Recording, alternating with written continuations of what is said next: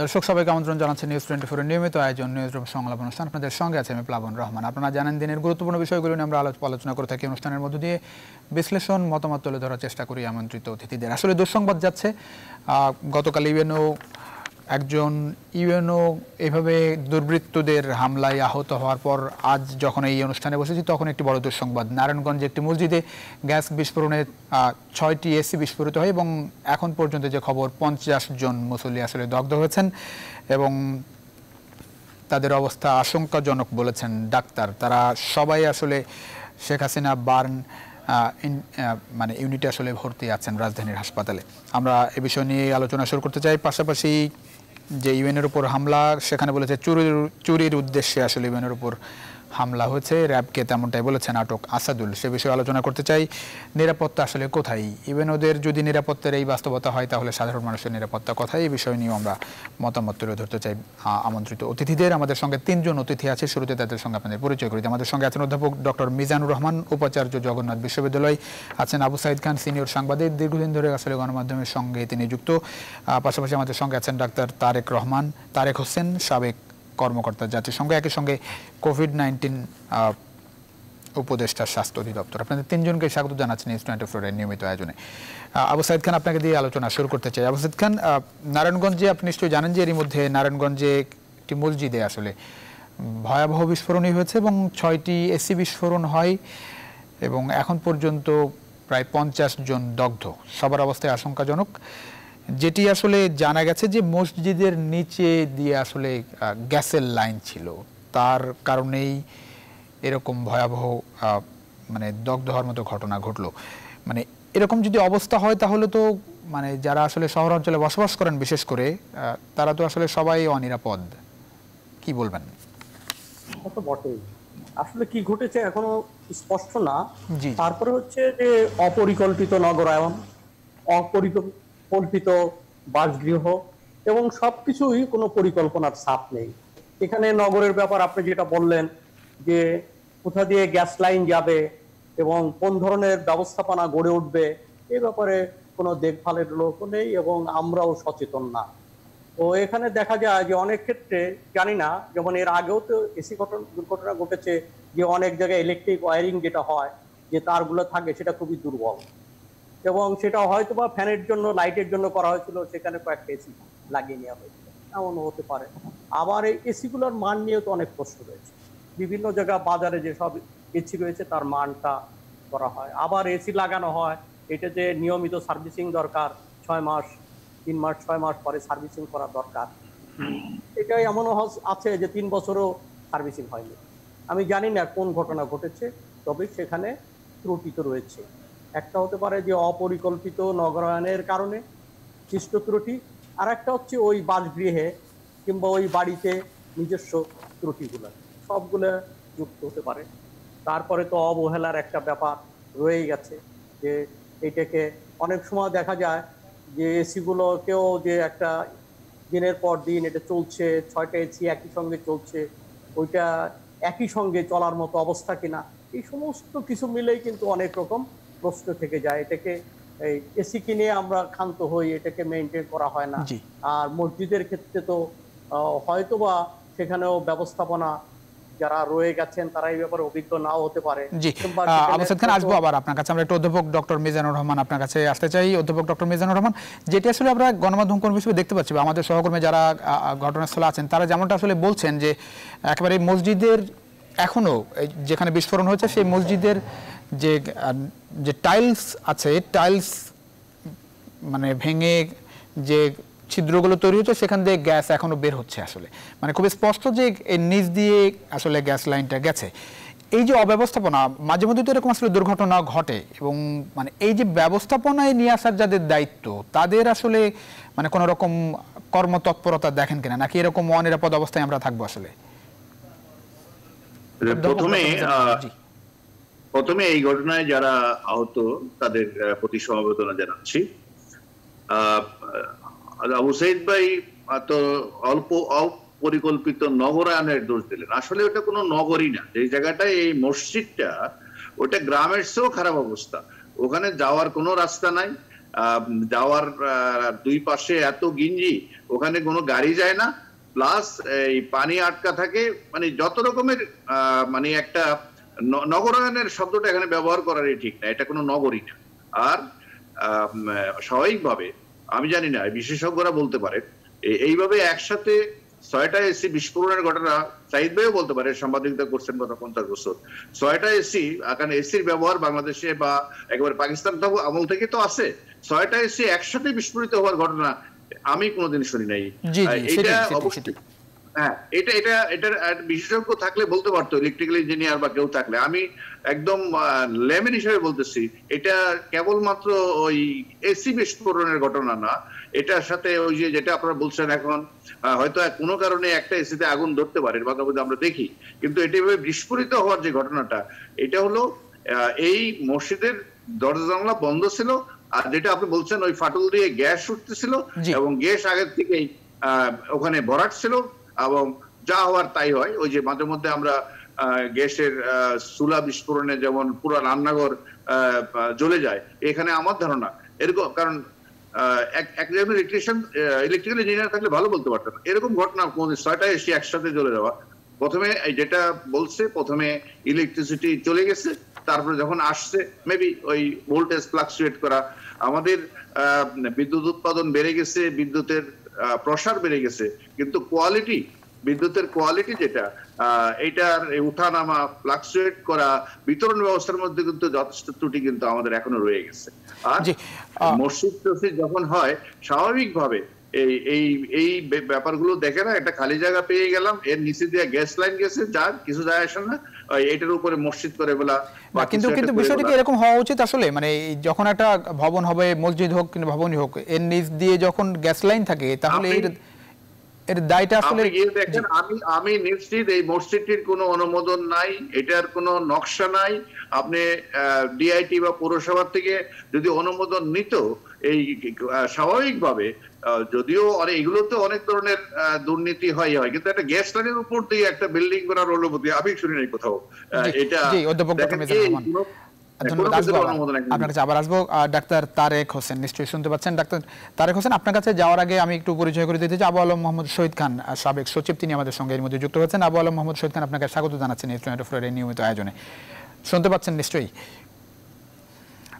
Doctor Tarique Hossain, আমি যে, আমি যেটি বলছিলাম, যখন এরকম খবর বা দুর্ঘটনার বিষয়গুলো সামনে আসে নিজেকে কতটা নিরাপদ মনে হয় আসলে? এবং সেই জায়গায় যারা কর্তা ব্যক্তি আছেন, সংশ্লিষ্ট ব্যক্তিরা আছেন, বিশেষ করে এইসব সেবার সঙ্গে সংশ্লিষ্ট যারা, তাদের প্রতি কি ধরনের অনুরোধ বা তাগিদ আপনার থাকবে এরকম ঘটনা থেকে শিক্ষা নিয়ে আসলে?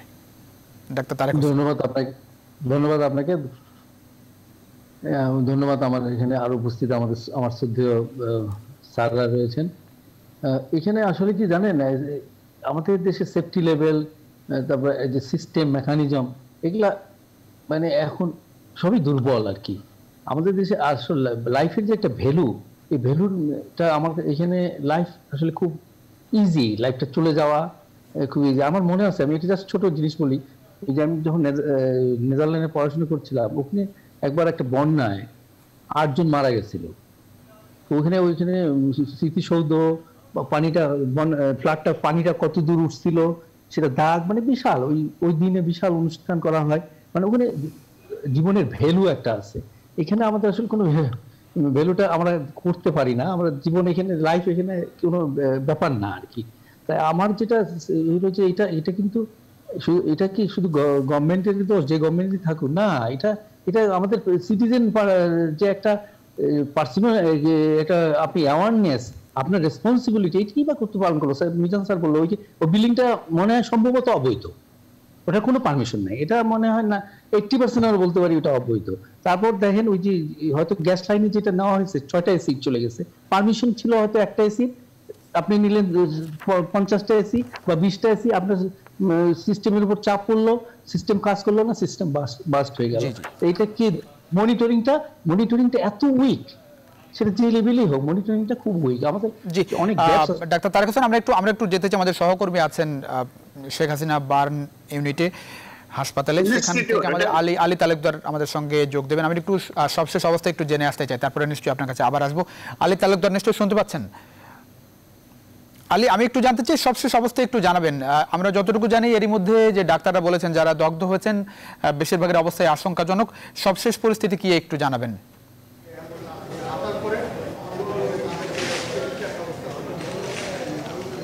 ধন্যবাদ এই শেখ হাসিনা বান ইউনিটে। এরই মধ্যে যে নারায়ণগঞ্জে সাত্রিশ জন দগ্ধ হয়েছেন, তাদের কিন্তু চিকিৎসা দিয়ে তাদের নিবিড় পর্যবেক্ষণে রাখা হয়েছে। এবং এই বিষয়গুলো সম্পর্কে যারা চিকিৎসা চিকিৎসক ছিলেন, তাদের সাথে কথা বলেছি যে তাদের শারীরিক অবস্থা সম্পর্কে তারা বলছেন যে দ্রুত যখন তারা এখানে তাদেরকে নিয়ে আসা হয়েছে, তারা খুব দ্রুততার সাথেই তাদেরকে চিকিৎসা দিয়েছেন এবং সেই বিষয়গুলো নিয়ে তারা বলছেন যে এই এই তাদের সার্বিক যে বিষয় এবং তাদের শারীরিক যেই অবস্থা কত শতাংশ পুড়ে গেছে এবং কি অবস্থায় রয়েছে, সেই বিষয়গুলো নিয়ে তারা পরবর্তীতে কথা বলবে।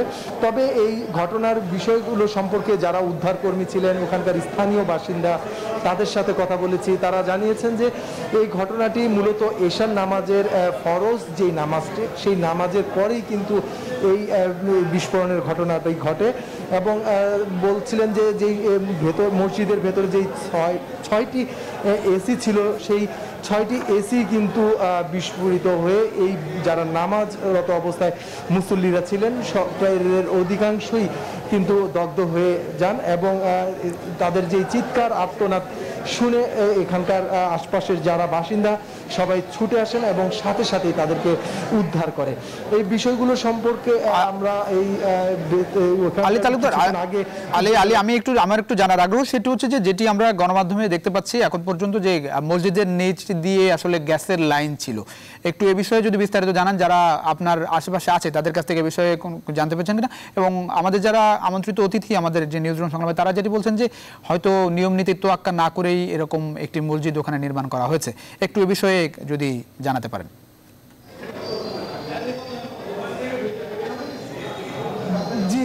আপনি যে বিষয়টা বলছিলেন যে আসলে এই গ্যাসের সংযোগের মধ্যে কোনো প্রকার লিকেজ ছিল কি না এবং সেই ক্ষেত্রে কোনো দুর্ঘটনা ঘটেছে কিনা? এই বিষয় সম্পর্কে কিছুক্ষণ আগে সেখানকার উপজেলা নির্বাহী কর্মকর্তা এসেছিলেন।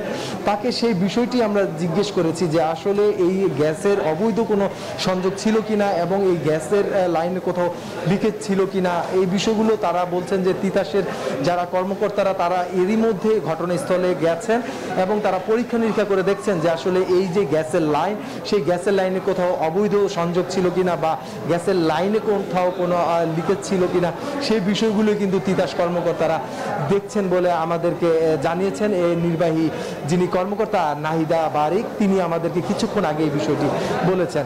তবে এই দুর্ঘটনার যে বিষয়গুলো যারা উদ্ধার করেছেন, তারা বলছিলেন যে গ্যাসের যে লাইন সেগুলো নয় বৈদ্যুৎ কি, এর আরেকটি মূল বিষয় হচ্ছে যে, কিছুক্ষণ আগে যখন তারা নামাজ পড়ছিলেন, তার আগেই কিন্তু বিদ্যুৎ চলে যায় এবং সেই বিদ্যুৎ যখন আবার পুনরায় আসে, এরপরেই কিন্তু এই বিস্ফোরণের ঘটনাটি ঘটে এবং সেই বিস্ফোরণে এই সাতত্রিশ জন যিনি উপজেলা কর্মকর্তা, তিনি বলছেন চল্লিশ জন, এর মধ্যে সাতত্রিশ জন কিন্তু এই হাসপাতালে চিকিৎসা নিচ্ছেন বলে আমাদেরকে জানিয়েছেন।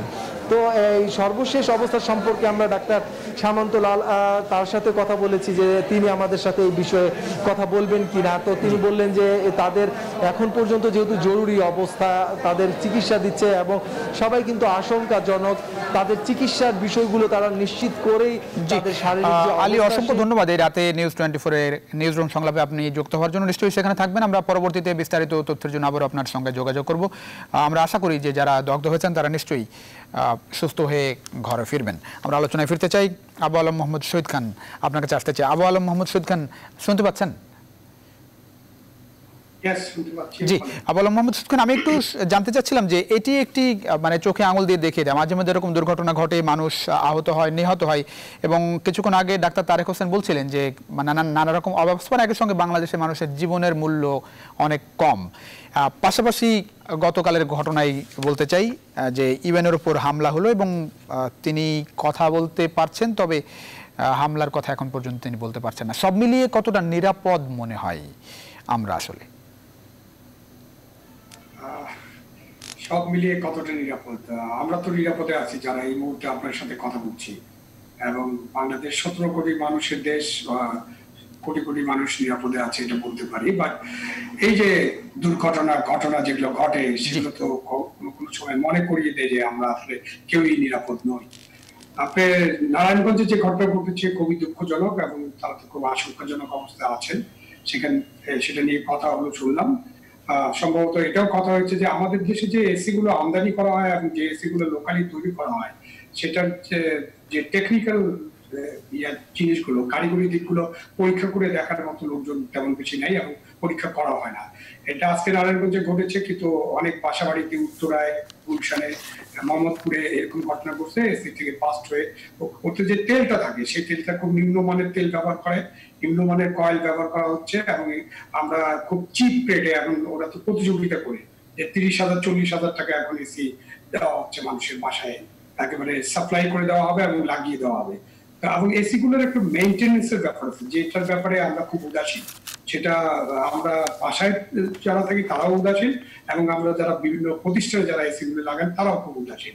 সব মিলিয়ে তার মধ্যে বিদ্যুতের ফ্ল্যাকচুয়েশন এবং গ্যাস লাইন যদি থেকে থাকে সেটা আরও হয়তো যোগ করেছে। এটা তো এই মুহূর্তে একেবারে কনক্লুশনে আসা যাবে না যে কি কারণে এই ধরনের ঘটনা ঘটলো বাট এটা খুবই দুঃখজনক ঘটনা। ফায়ার সার্ভিস হিস্ট্রি এটার ব্যাপারে একটা ব্রিফিং দিবে।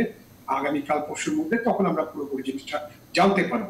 তবে এসি দুর্ঘটনা চলছে এটা নিয়ে সরকারের এবং যারা যে যারা দায়িত্বে আছেন বিস্ফোরক অধিদপ্তর এবং যারা কমার্স মিনিস্ট্রিতে আছেন তাদের অবশ্যই এটা নিয়ে আবুল। মোহাম্মদ যেটি ফায়ার সার্ভিসের সিভিল ডিফেন্স নারায়ণগঞ্জের উপ সহকারী পরিচালক আব্দুল্লাহ আরফিন বলেছেন যে মসজিদের সামনের যে গ্যাসের লাইন সেখানে লিকেজ ছিল এবং তারা ধারণা করছেন যে এসি চালানোর সময় জানালা বন্ধ থাকায় গ্যাস ভেতরে জমা হয়ে যায় এবং বৈদ্যুতিক সুইচ অন করতে গেলে স্পার্ক থেকে বিস্ফোরণ হতে পারে। এবং যেটি এখন আমরা গণমাধ্যমে দেখছি যে আমাদের সহকর্মীরা লাইভ করছেন, সেখানে দেখা যাচ্ছে যে হাসপাতালের সরি আসলে মসজিদে যে টাইলস সে টাইলস ফেটে এখনও গ্যাস বের হচ্ছে। মানে বোঝা যাচ্ছে যে মসজিদের নিচ দিয়ে আসলে গ্যাসের লাইনটা গেছে। এটা হতে পারে। আমি ঠিক জানি না আমি ঠিক জানি না যে ওখানে গ্যাসের লাইনটা কোথায় আছে এটা নিয়ে আলোচনা হয়েছে এবং গ্যাসের লাইনের উপর তো মসজিদ নির্মাণ করার কথা নয় এবং বাংলাদেশে অনেক মসজিদ নির্মাণ করা হয় যেখানে মসজিদ নির্মাণ করার কোনো মানে যৌক্তিক কারণ নেই এবং যে ধর্মের যে বিধান আছে এই বিধান মানা হয় না। আপনি মসজিদ নির্মাণ করতে করতে হলে ওই জমিটা শর্তই নিতে হবে জমির মালিকানা ওয়াকফ থাকতে হবে এবং জমির মালিকানা একেবারে পরিষ্কার থাকলে সেখানে এই মসজিদ নির্মাণ করা হবে। কিন্তু আমাদের দেশের প্রবণতা হচ্ছে আমরা সরকারি জায়গা জমি যেখানে পাই দখল করে একটা মসজিদ নির্মাণ করে দিই এটা তো অনেক বড় আলোচনার বিষয়ে এদিকেও নজর দেওয়া দরকার কিন্তু কে নজর দিবে? আমরা কোথায় আমরা সারা অঙ্গে যখন ঘা হয়ে যায় কোথায় মলম লাগাবো? এই অবস্থা। তো এখন মসজিদে ওই আলোচনা যেতে চাই না।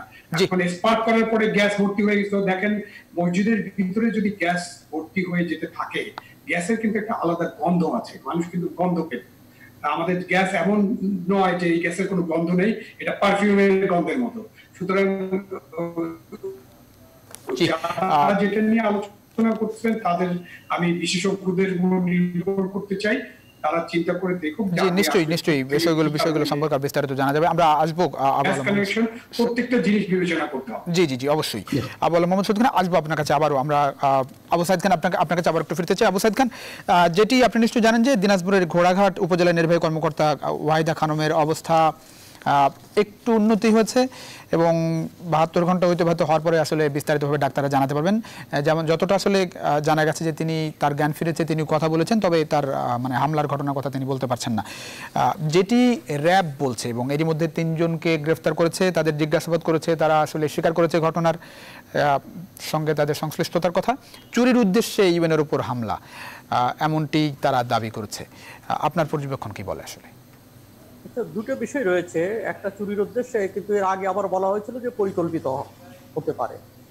তো এখন কোনটা, এটা তো অন্তে বেরিয়ে আসা দরকার। তবে দুর্ভাগ্যজনক এবং আশঙ্কাজনক যে এখানে যারা গ্রেপ্তার হয়েছে, তারা একটা যুব সংগঠনের, অর্থাৎ যুবলীগের ক্ষমতাসীন দলের অঙ্গ সংগঠন, যুবলীগের তারা সদস্য। তো এই এতদিন দুর্বৃত্তরা রাজনীতিতে ঢুকে পড়েছে। এখন তো দেখতে পাচ্ছি যে যদি চোরই হয়, তাহলে চোররাও রাজনীতিতে ঢুকে পড়েছে। তো এই জায়গাটা আমার মনে হয় একটু নিশ্চিত হওয়া দরকার। এখানে যারা প্রশাসনিক কর্মকর্তা, যারা দক্ষতার পরিচয় দিচ্ছে, সততার পরিচয় দিচ্ছে, তাদের বড় আগা, তারা কিন্তু আতঙ্কে আছে। এবং যারা তাল মিলিয়ে চলছে, তারা বরং খানিকটা নিরাপদ আছে। আমি জানি না, এই ভদ্র মহিলা ইনি হ্যাঁ আমি তো দু একটা চ্যানেলে দেখলাম অনলাইনে দেখলাম যে উনি অত্যন্ত দক্ষতার সঙ্গে দায়িত্ব পালন করেছেন। এবং এখানে মাদক, ব্যবসায়ী এবং অন্যান্য চাঁদাবাজ ইত্যাদিদের ব্যাপারে তিনি কঠোর ছিলেন। তো এই আক্রোশ থেকে ঘটনা ঘটেছে কিনা, এটা কিন্তু আমাদের খতিয়ে দেখার দরকার। তো অনেক সময় হয় কি যে অন্য খাতেও ঘটনাটাকে প্রবাহিত হয়ে যায় অনেক সময়। আমার কাছে মনে হয় যে চট করে কোনো মন্তব্যের সুযোগ নেই। এটা কোনো অন্য উদ্দেশ্যে তাকে আঘাত করা হয়েছে? না, শুধুমাত্র চুরির উদ্দেশ্যে। আর চুরির উদ্দেশ্যে ইউএনের বাসা বেছে নেওয়া একজন মহিলা যেখানে একা থাকেন সম্ভবত। তো তার বাসা যেখানে তার বাবা বেড়াতে এসেছিলেন সেইটা বেছে নেওয়া এবং সেখানে টাকা পয়সা অনেক পেয়ে যাবেন এমনটা ভাববারই কোনো ব্যাপার আমার কাছে মনে হচ্ছে না। এক দ্বিতীয়ত যে জিনিসটা যে কোনো জিনিস ছোঁয়া গেছে এখন পর্যন্ত কিন্তু শুনিনি। তো চুরির উদ্দেশ্য হলে তো আঘাত করার পরে তার মালামাল সব নিয়ে যাবে কিন্তু তদন্ত কর্মকর্তারা এখন পর্যন্ত সেটা বলেন না এমন কিছু ঘটেছে কিনা। আমি জানি না। তো আসলে কি এটা তদন্তের আগে বলা কঠিন তবে আমার মনে হয় এটা একটা সুস্থ এবং উচ্চ ক্ষমতা সম্পন্ন ব্যক্তিদের এক্সপার্টদের দিয়ে এটা তদন্ত করা দরকার এবং এর কারণ খতিয়ে দেখা দরকার। এখানে কেবলমাত্র একজন ওহিদাই নয় আরও অনেক প্রশাসনিক কর্মকর্তা এখানে যারা কাজ করছে তারা অনেকেই রাজনৈতিক হস্তক্ষেপের শিকার হচ্ছে আবার নিরাপত্তাহীনতায় যুক্ত হচ্ছে নতুন মাত্রা, নিরাপত্তাহীনতা ভুগছেন এটা আমাদের জন্য খুবই আশঙ্কাজনক বলে মনে জি ধন্যবাদ। অধ্যাপক ডক্টর মিজানুর রহমান যেটি আমার হাতে কালের কণ্ঠ আছে, যেটি সকালে সাধারণ মানুষের হাতে যাবে। তাদের প্রধান শিরোনাম হচ্ছে চুরি করতে গিয়ে হামলা, একটা আশ্চর্যবোধক চিহ্ন আছে। তারপরে বলছেন যে স্থানীয়রা বলছেন, চাঁদাবাজি ও দখলে বাধা দেয়ায় ইউএনও আক্রান্ত, ছেড়ে দেওয়া হয়েছে আটক যুবলীগ নেতাকে। আমি একটু জানতে চাই এবং যেটি আসলে বলছিলেন আবু সাইদ খান যে, রাজনীতিতে তারা ক্ষমতাসীন দলের যুবলীগের পদে আছেন এবং তারাই বলছেন যে তারা চুরি করতে গিয়েছেন। সব মিলিয়ে মানে যেটি বলছিলেন যে রাজনীতিতে আসলে চোরেরা ঢুকে পড়েছে। কি বলবেন আসলে? অধ্যাপক ডক্টর মিজানুর রহমান। প্রথমেই একটা ভালো দিক হচ্ছে ওইটা আপনি যেটা বলছেন যে তার শারীরিক অবস্থার উন্নতি হচ্ছে বা তার জ্ঞান ফিরে আসছে। এটা একটা ভালো খবর। আমাদের যে নিউরো সায়েন্স ইনস্টিটিউট এবং আজকে যাদের এখন চিকিৎসা হচ্ছে বার্ন শেখ হাসিনা এটা বার্ন ইনস্টিটিউট ইউনিট না আমাদের সংবাদ অনেকে। বার্ন ইউনিট একটা বার্ন ইউনিট কিন্তু একটা আছে ঢাকা মেডিকেল কলেজ এটা না। যেটা শেখ হাসিনা বার্ন ইনস্টিটিউট যেটা অত্যন্ত আধুনিক এবং সেখানে পঞ্চাশটা আইসিইউ বেড আছে এটা অত্যন্ত সামন্তলাল বাবু অত্যন্ত সক্ষমতার সাথে এটা চলছে আর একইভাবে আমাদের যে ন্যাশনাল যে নিউরো সায়েন্স ইনস্টিটিউট এটাও অত্যন্ত আধুনিক একটা হাসপাতাল এবং আমরা যে ডাক্তাররা চিকিৎসকরা যে অনেক সক্ষম এবং আমাদের যে কিছুটা হলেও এখন সক্ষমতা অর্জন করছে এর নজির কিন্তু এইগুলো এটা বলতে হবে। তো যেখানে তার মাথার খুলির একটা অংশ আটটা টুকরো হয়ে গেছিল সেগুলো জোড়া দিয়ে আবার লাগানোর যে যোগ্যতা আমাদের ডাক্তারদের আছে আমি ডাক্তারদেরকে অভিনন্দন জানাই। আর অবশ্যই ওয়াহিদার দ্রুত সুস্থ হোক এটা আমরা চাই চাচ্ছি। আর এটা একেবারেই আমার কাছে মনে হচ্ছে এটা তদন্তে বেরিয়ে আসবে। এটা র্যাবও বলে নাই পুলিশও বলে নাই। ওটা যেই যারা ধরা পড়ছে তাদের একজন বলছে যে চুরির উদ্দেশ্যে আমরা গেছিলাম। তো এটা একটু বিশ্বাস বিশ্বাস কি চুরি? আমার মনে হয় না। এটা টাকা পয়সা চুরি নাও হতে পারে। হতে পারে ওই যে যেটা সাইড ভাই বলল যে বিভিন্ন রাজনৈতিক দুর্বৃত্তায়নের কারণে টেন্ডার বালু মহল এটা, সেটা, এইগুলার কোনো কাগজপত্র ওখান থেকে নিয়ে আসার মতলব ছিল কিনা? চুরি হয়তো বাট আমি মনে করি না এটা কোনো টাকা পয়সা। হয়তো এমন কিছু একটা ডকুমেন্ট বা কিছু একটা এই এরকম কিছু হতে পারে হয়তো, সেটা তদন্তে বোঝা যাবে। কিন্তু ঘটনা যেটা ঘটে গেছে দেখেন, এই এই মাদকাসক্ত লোকরাও বিভিন্ন কমিটিতে আসে আর আমরা যখন এরকম বড় ঘটনা ঘটে যায়, তারপরে তাদেরকে বহিষ্কার করা হয়। কিন্তু কেন এরা আগের থেকে জানে না? এবং আমি মনে করি যে এখনও সময় আছে। বাংলাদেশের বহু জায়গায় এই রাজনৈতিক সংগঠন এটা সব দলেরই আছে আর ক্ষমতাসীন দলেরা দুর্বৃত্তরা ক্ষমতাসীন দলে বেশি ভিড়ে। এই এই দুর্বৃত্তদের আগেই চিহ্নিত করা হয় না এবং ঘটনা ঘটার পরে তাদেরকে বহিষ্কৃত বহিষ্কার করা হয় এবং কখনো কখনো এরা ঢুকে পড়া অথবা কোনোভাবে দলে ঢুকে গেছে এই ধরনের তকমা দেয়া হয়। আসলে এটা যে খুব একটা ভালো চর্চা তা না। আমি মনে করি সমস্যাটা আবার একই ভাবে আহ, যদি বলি যে সবকিছু রাজনীতিটা বন্ধ করে দিব সেটাও সমাধান না রাজনীতিতে ভালো লোকদের নিয়ে আসার এবং মন্দ লোকদেরকে বিতরণ করার কালচার যদি আমরা করতে না পারি তাইলে কিন্তু এই এই অপকর্মটা চলতে থাকবে। তবে একটু বলি আমাদের পাঁচশোর কাছাকাছি উপজেলা আছে এবং সেখানে আমাদের নির্বাহী কর্মকর্তারা আছেন কর্মকর্তারা যেখানে আহ, সেটা যেন একেবারে জেনারেলাইজ করা না হয়। অনেক জায়গাতে সব জায়গাতেই ভালো আছে কিন্তু এটা আতঙ্কিত হওয়ার যদি ব্যাপার হয় তাহলে কিন্তু আমাদের প্রশাসনে কিন্তু এটার একটা অধ্যাপক ডক্টর মেজানুর রহমান আসব আপনার কাছে আবারও যদি সময় পাই। আবু আলম মোহাম্মদ খান একটু আপনার কাছে আবারও আসতে চাই।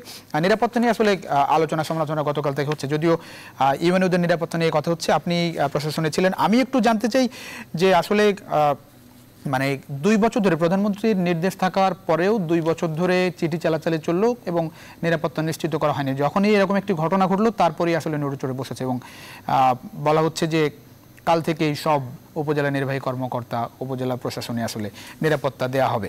মানে এতটা বিলম্ব হওয়ার কারণ কি মনে হয় আসলে? আমাদের প্রধানমন্ত্রী তো অনেক নির্দেশনা দেন, এবং সেই নির্দেশনাগুলো নিচ পর্যন্ত যায়, এবং তিনি যেসব নির্দেশনা দেন সেগুলো বাস্তবায়ন কেন হয় না, এটার কারণ তো আমি এখন ব্যাখ্যা করতে পারব না বাট এটার কারণ তো প্রধানমন্ত্রীর কার্যালয়কে ব্যাখ্যা করতে হবে। কেন প্রধানমন্ত্রীর কার্যালয়ের দায়িত্ব হলো যে মাননীয় প্রধানমন্ত্রী যে সব নির্দেশনা দিচ্ছেন সেগুলো বাস্তবায়ন হচ্ছে কিনা, এটা মনিটর করা তাদের একটা দায়িত্ব এবং তাদের রুলস অফ বিজনেসে তাদেরকে এই দায়িত্ব দেওয়া হয়েছে। তিন বছর ধরে এই অর্ডারটা কেন বাস্তবায়ন হলো না, এটা তাদেরকে খুঁজে বের করতে হবে।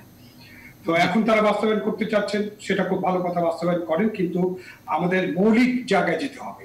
মৌলিক জায়গাটা হলো যে আপনি যদি অপরাধীরা, মাদক সেবী, মাদক ব্যবসায়ী, তারা যখন রাজনৈতিক আশ্রয় প্রশ্রয় থাকবেন এবং মুক্ত বাতাসে ঘুরে বেড়াবেন তখন আপনি কোন রকম যে আপনি প্রোটেকশন দিয়ে পুলিশ দেন বা আনসার দেন বা যেভাবেই দেন প্রোটেকশন দিয়ে তো আপনি কাউকে রক্ষা করতে পারবেন না। এই রক্ষাটা করতে হবে, যে অপরাধীদের ধরতে হবে, বিচার করতে হবে, এবং তাদের যে রাজনৈতিক পৃষ্ঠপোষকতা দেওয়া হয়, সেটা থেকে রাজনৈতিক দলগুলোকে সরে আসতে হবে। সেটা যতক্ষণ পর্যন্ত করা না হবে, ততক্ষণ পর্যন্ত আপনি আপনি কি সারা দেশের মানুষের জন্য, সতেরো কোটি মানুষের জন্য আপনি প্রত্যেকের পিছনে একটা করে পুলিশ গার্ড দিলে হবে না। আট ঘণ্টা করে হলে তিনটা করে পুলিশ গার্ড লাগবে বা তিনটা আনসার লাগবে। তিনজন আনসার যদি দেন, তাহলে তিনশো সতেরো কত হয়? একান্নটা, আমাদের একান্ন কোটি এরকম গার্ড লাগবে। সেটা দিয়ে তো আর দেশ চলবে না। সুতরাং দেশটা কীভাবে চলবে সেটা আগে ভালোভাবে রাজনৈতিক দল, সরকারকে বুঝতে হবে যে মৌলিক বিষয়টা হলো অপরাধী যারা, মাদক সেবী, মাদক ব্যবসায়ী, চাঁদাবাজ, দুর্নীতিবাজ এবং দখলদার টেন্ডারবাজ এদের ব্যাপারে তো প্রধানমন্ত্রী জিরো টলারেন্স এই যে প্রধানমন্ত্রী এতদিন ধরে বলছেন যে zero tolerance zero tolerance zero tolerance তারপরে আপনি আমি মিজান সাহেবের সাথে একমত যে আপনি তারপরে বহুদিন পরে বুঝলেন যে আমাদের এই দুই হাজার সতেরোতে যে কমিটি করেছিলাম সেই কমিটির আহ্বায়ক তিনি একজন মাদক সেবী এবং মাদক ব্যবসায়ী তার নামে পাঁচটি মামলা আছে। এবং তিনি সদর পেয়ে সারাদিন ঘুরে বেড়াচ্ছেন। তার সাথে আসাদুল তিনি এখন চুরি করতে গেছেন। এখন চুরি করতে গেলেন একটা বাসায়। তা আপনি বাসায় চুরি করতে ঢুকলে বাসার লোকজনকে হাত পা বেঁধে আপনার যা চুরি করার চুরি করে চলে আসবেন। তখন তো হাতুড়ি দিয়ে আপনার এই ব্র্যান্ড হাতুড়ি ব্র্যান্ড একটা হয়ে গেছে এখন। আগে চাপাতি ব্র্যান্ড ছিল। এই যে ব্র্যান্ড হাতুড়ি দিয়ে আপনি তার মস্তিষ্কে আঘাত করবেন, মাথায় আঘাত করবেন এবং তাকে মানে মেরে ফেলার মতো অবস্থা করবেন। এটা তো চুরির সাথে এটা যায় না। চুরির সাথে তখনই যেত হ্যাঁ তারপর ঠিক আছে, আপনি বাধা দিছে, আপনি আঘাত কর- কর- করেছেন, তারপর তো আপনি চুরি করবেন আপনার উদ্দেশ্য যদি চুরি করা হয় তাহলে আপনি চুরি না করে কেন চলে আসবেন? সুতরাং এইসব ব্যাপারে খুব তাড়াহুড়ো করে কোনো সিদ্ধান্ত নেওয়া যাবে না, কোনো কনক্লুশনে পৌঁছানো যাবে না। সাইড যেটা বলেছিলেন আমি তার সাথে একমত, এই ব্যাপারে একটা পূর্ণাঙ্গ উচ্চ পর্যায়ের তদন্ত হতে হবে এবং পূর্ণাঙ্গ। আমাদের কিন্তু অনেক সংস্থা আছে যারা ভালো তদন্ত করে। আমাদের পিআইবি আছে, আমাদের সিআইডি আছে, আমাদের স্পেশাল ব্রাঞ্চ আছে র্যাবের স্পেশাল টিম আছে। এরা অপরাধগুলোকে ভালোভাবে তদন্ত করতে পারে। সুতরাং এই বিষয়টাকে এরকম ছোটখাটো চুরি বলে অন্যদিকে প্রবাহিত করার যদি কেউ চেষ্টা করেন সেটা খুবই অন্যায় হবে। আমি জানি না কেউ চেষ্টা করছেন কিনা বাট এই ব্যাপারে ভালোভাবে তদন্ত করে জনগণের কাছে তদন্ত রিপোর্টটা আসতে হবে। নাহলে কিন্তু জনগণ সন্দেহ করবে। যেমন আপনি একটু আগেই বললেন যে যুগান্তর পত্রিকার কথা বললেন তাই না? না। হেডলাইন নিউজ নিউজের পরে কি দিয়েছে? তাদের চিহ্নটা কি? এক্সক্লামেটরি চিহ্ন তারা বিস্মিত। মানে একটা সংবাদপত্র জাতীয় দৈনিক এই যে এই কথাটা লিখে বলে দিল যে এটা বিশ্বাসযোগ্য না। তাহলে একটা জাতীয় দৈনিক বিশ্বাস যদি না করে তাহলে নাগরিকরা কীভাবে বিশ্বাস করবে? সুতরাং ওখানে অনেক কিছু করার আছে। জি আবাল মোহাম্মদ খান আপনি আপনিও এখানে বলেছেন যে কালের কণ্ঠেই আপনার একটা বিশেষজ্ঞ মত আছে মাঠের কর্মকর্তারা দিনের আলোতেও অনিরাপদ থাকেন। এবং এটি দীর্ঘদিন ধরেই চলছে যেহেতু ইউএনওরা কোনো রকম নিরাপত্তা পাননি। আমি জানতে চাই যে এই জায়গাটাই যেটি বলা হচ্ছে যে চারশো বিরানব্বইটি উপজেলা এবং আপাতত চারজন করে সশস্ত্র আনসার নিয়োগ দেওয়া হবে। তাতেই কি নিরাপত্তা নিশ্চিত হবে নাকি অন্য কোনো পথ দেখেন এই জায়গায়? আর কতই বা নিরাপত্তা দেওয়া কোন লেভেল পর্যন্ত আসলে নিরাপত্তা আনসার বা বডিগার্ড কখনো নিরাপদ করতে পারে না। এটা একটা ডেটারেন্ট এফেক্ট আপনার সাথে আনসার বা বডিগার্ড থাকলে হয়তো যারা আপনাকে আক্রমণ করার চেষ্টা করবে তাদেরকে অনেকটা হিসাব নিকাশ করতে হবে। কারণ তাদের দুইজনের জায়গায় পাঁচজন লাগবে। তাদের অস্ত্র লাগবে, এসব একটা হিসাব নিকাশ। এটা কিছুটা এফেক্ট করে বাট এটা দিয়ে পুরা নিরাপত্তা নিশ্চিত করা যায় না। আমি আমি যেটা বলেছি, মৌলিকভাবে অপরাধীরা যদি ঘুরে বেড়ায় মুক্ত বাতাসে, তাহলে তারা অপরাধ করার চেষ্টা করবে। সুতরাং অপরাধীদেরকে তাদের যে ঠিকানা, সেই ঠিকানায় তাদেরকে পাঠানো, পাঠাতে হবে। অপরাধীর ঠিকানা এটা হতে পারে না, উনি যুব দলের আহ্বায়ক, যুবলীগের আহ্বায়ক হবেন বা যুব দলের আহ্বায়ক হবেন বা ছাত্রলীগের সভাপতি হবেন বা ছাত্র দলের সভাপতি হবেন এটা তাদের ঠিকানা না। তাদের ঠিকানা অপরাধী সন্ত্রাসী দুর্নীতিবাদ জেল। আহ, এদের ঠিকানা হলো জেলখানা। তাদের জেলখানায় থাকতে হবে তাইলেই আপনি এটা ঠিক হবে। এটা হলো এক নম্বর। দুই নম্বর হলো যে দিনের বেলা নিরাপদ নয় কেন বলেছি? আপনি এই জায়গাটায় যে কনস্টিটিউশন সেখানে একজন এমপি আছেন তার এলাকায় নবাবগঞ্জে দুই হাজার চোদ্দ সালের অক্টোবর মাসে ইউনোর উপরে হামলা হয়েছিল। কি জন্য হামলা হয়েছিল? যে ওইখানে একটা রিক্রুটমেন্ট চলছিল। আমাদের প্রাথমিক বিদ্যালয়ের দারোয়ান কাম পিওন নিয়োগের সেই রিক্রুটমেন্টের ব্যাপারে ক্ষুব্ধ হয়ে যুবলীগ এই যুবলীগে হামলা করেছিল। এবং তারও মাথায় সাত আটটা ব্যান্ডেজ করতেছিল। এত খারাপ অবস্থা না। একটি মামলা হয়েছিল কয়েকজন গ্রেপ্তার হয়েছিল সেই মামলায় কি হয়েছে আমরা জানি না। এগুলো তো দ্রুত বিচার করতে হবে। রাষ্ট্রের- প্রতিনিধির উপর হামলা করা এটা কিন্তু বড় ধরনের অপরাধ। এই অপরাধ কেউ করলে তার বিচার করতে হবে এবং দ্রুত বিচার করতে হবে। ডাক্তার তারেক হোসেন আপনাকে দিয়ে শেষ করতে চাই যেটি আসলে বলছিলেন যে একজন ইউনের উপর হামলা এটি কিন্তু একেবারেই মানে মুখের কথা না। আসলেই মানে এই সাহসটা আসলে থেকে পায়? মানে নিরুৎসাহিত হওয়া কিংবা যদি প্রকৃত যারা অপরাধী তাদের যদি বিচারের আওতায় আনা যেত দৃষ্টান্তমূলক শাস্তি দেওয়া যেত আহ, তাহলে আসলে এরকম অপরাধ করার মতো সাহস পেত কিনা অপরাধীরা? ধন্যবাদ। আসলে আহ, আলম ভাই যেটা বলল তো প্রজাতন্ত্রের কর্মচারী, আপনি যখন প্রজাতন্ত্রের কর্মচারীর উপর আক্রমণ করেন, আপনি রাষ্ট্রের উপর আক্রমণ করেন, আর যে জিনিসটা আমি বলতে চাই, এখানে আমার স্যাররা আছেন, বড় ভাইরা আছেন, এখানে আসলে কি, ধরেন শাহেদ আরিফ সাবরিনা, তারপরে এই যে যুবলীগের দুইজন ডাক নেতা একটা যে লোকাল লেভেল এরা শুধু এরাই শেষ না, এদেরকে কে বানাইছে, এদেরকে কারা পৃষ্ঠপোষকতা করছে শাহেদ কীভাবে এত বড় বিশাল বিশাল ব্যবসায় হলো একটা উপ কমিটিতে ঢুকে পড়ল, আরিফ সাবরিনা কীভাবে আসলো, এটা এটা ব্যক্তি না, এটা ইন্ডিভিজুয়াল কাজ করে, এটা কালেকটিভ ফর্মে তারা সামনে ছিল, তাদের পিছনে ব্যাগ দেওয়া হয়েছে, তাদেরকে বানানো হয়েছে। এই জিনিসগুলো আমাদের বাইর করতে হবে। আর এইগুলো আমাকে মনে হয় আমাদের নেত্রীকে, আমাদের প্রধানমন্ত্রী জননেত্রী শেখ হাসিনাকে একটা এম্বারেসিং সিচুয়েশনে ফেলানোর জন্য একটা পক্ষ এভাবে কাজ করে যাচ্ছে আমার মাঝে মাঝে এটাই মনে হয় মানে সাপোর্টাইজ করা গভর্নমেন্টকে সাপোর্টাইজ করতে চায়। কেউ বা কারা? কারণ এই যে আমরা দীর্ঘদিন ধরে আওয়ামী লীগ ক্ষমতায় রয়েছে, অনেক মধু- খাওয়ার জন্য অনেক লোক জুটে গেছে। মিজান স্যার বলতেছিল যে একটা ক্ষমতাসীনের পিছনে অনেক ক্ষমতাসীনের আশেপাশে যারা থাকে অপরচুনিটিস থাকে, অনেক অপরচুনিটিস আর দীর্ঘদিন যেহেতু আওয়ামী লীগ ক্ষমতায় আছে, এই অপরচুনিটিস এই ফেক আওয়ামী লীগের এখন দেশে নাইনটি নাইন পার্সেন্ট লোক আওয়ামী লীগ করে। এখন দেশে আহ, আমি স্ট্যাটিস্টিক্যালি এটা সম্ভব না এটা কীভাবে সম্ভব? জি দেশে জি, 99% অনেক ধন্যবাদ দিতে হচ্ছে তারেক হোসেন আবু মোহাম্মদ শহীদ খান আবু সাইদ খান অধ্যাপক ডক্টর মিজানুর রহমান আপনাদের চারজনকে অসংখ্য ধন্যবাদ নিউজ টোয়েন্টি ফোরের এই নিউজ রুম সংলাপ আপনাদের মূল্যবান সময় দেওয়ার জন্য। দর্শক নিশ্চয়ই আসলে প্রকৃত যারা অপরাধী তাদেরকে দৃষ্টান্তমূলক শাস্তির আওতায় আনা গেলে হয়তো এরকম দুর্ঘটনা হয়তো সামনে আর দেখতে হবে না। নিশ্চয়ই যারা কর্তা ব্যক্তি আছেন, সংশ্লিষ্ট ব্যক্তিরা আছেন, তারা নিশ্চয়ই এ ব্যাপারে আরও বেশি সজাগ থাকবেন। এই ছিল নিউজরুম সংলাপ। দেখা হবে নিশ্চয়ই আগামীকাল একই সময়ে। সে পর্যন্ত ভালো থাকবেন, সুস্থ থাকবেন। আশা করি নিউজ টোয়েন্টি ফোরের সঙ্গে থাকবেন।